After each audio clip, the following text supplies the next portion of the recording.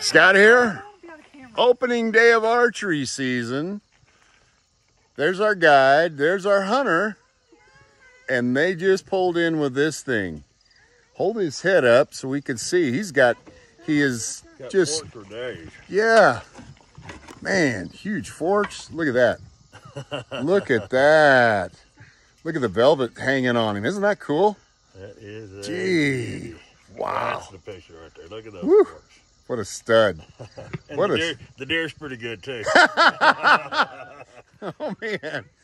Tell me the story. What happened? well, old one over here found him at the hottest, no wind having place we could have. We found him. We sat on him for two and a half hours at 200 yards and let him move, and then sat on him at 30 yards after almost stepping on him for another two hours.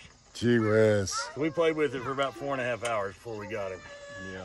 And I think it's about 98, 99 degrees today. So it was, it was, uh, it was, uh, You earned him. we made it, we made it work for sure. But that's the difference between, you know, getting out and hunting and making it happen, you know, rolling the dice and, and, uh, you know, staying at home. Can't kill him at camp. That's right. Giant, congrats. Thank you. All right. Well, we're going to sign off and hopefully we got more coming in. Hope you're having a great day. Talk to you later.